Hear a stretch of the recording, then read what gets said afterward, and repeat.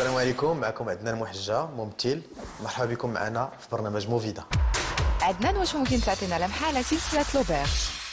سلسلة l'auberge اللي هي من إخراج صديق ديالي دريس الروخ. الاحداث ديالها كدور آه، حول واحد العائلة جات من فرنسا باش تستثمر في المغرب في المجال السياحي. كيحلوا واحد l'auberge ولكن كيتلاقاو مع واحد الشخصية décalé آه، بعادين عليهم في طريقة تفكيرهم وطريقة التعامل ديالهم. وكيوقع واحد اصطدام آه، حضاري اللي كيخلق وكيولد المشاهد الفكاهية والهزلية إن شاء الله اللي غتكتشفوها في السيتكم شنو هو الدور ديالك في هذه السلسلة؟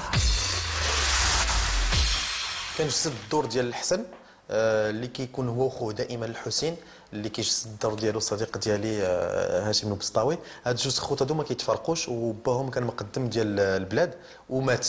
وفاش مات صحاب لهم واش المهنة ديال التمقدمين كتورث alors كيبقاو عايشين بداك الهاجس بين بجوج مقدمين وكيحصلوا معاهم بزاف د المواقف l'auberge إن شاء الله اللي غادي تكتشفوا.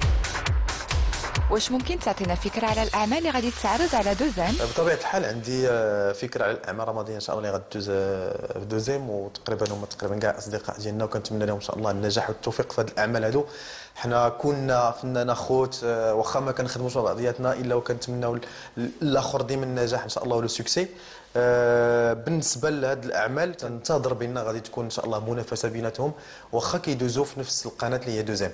يعني حيت تقريبا بزاف الفنانات تبارك الله ولاو متمكنين من الأعمال ديالهم. اللي كيدير الدراما اللي كيدير الكوميديا. آه، وعلى مر الزمن وحنا تنقولها للمشاهد يعني ماشي باش ماشي ماشي كذوب ولا لا بهتان. يعني كاين واحد التطور تطورنا من رمضان رمضان ولا تطور لا تقنيا لا فنيا لا كتابيا كذلك ولا ولينا ولا النيفو طلع الحمد لله وكنتمنى من الجمهور الله الكريم يتبع هذا التقدم هذا والتطور وتنال الإعجاب ديالو هذه الأعمال الرمضانية اللي كنقدموا ليه إن شاء الله الرحمن الرحيم شنو هو رأيك في تواجد مجموعة من الأسماء الشابة في الأعمال الرمضانية؟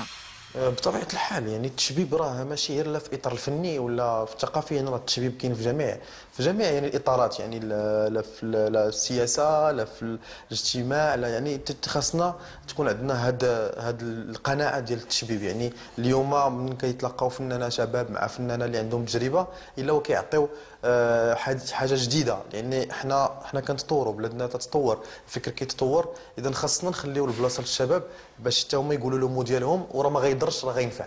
كلمة لمشاهدي برنامج موفيدا. آه، بالنسبة للمشاهدين تاع القناة الثانية وبالأخص مشاهدين برنامج موفيدا آه، كنقول لكم آه، سيروا الأعمال ديالنا. حنا كنتعبوا آه، كنحاولوا نقدموا لكم يعني الجديد كنحاولوا نقدموا لكم آه، أحسن ما عندنا. آه، وكنتمنوا دائما نكونوا عند الحسن ديال الظن ديالكم ورمضان مبارك سعيد. أجندة موفيدا لهذا الأسبوع كتقدم لكم من 27 ل 29 ماي موعد مع المهرجان الدولي للفنون والثقافات بمدينة أكادير.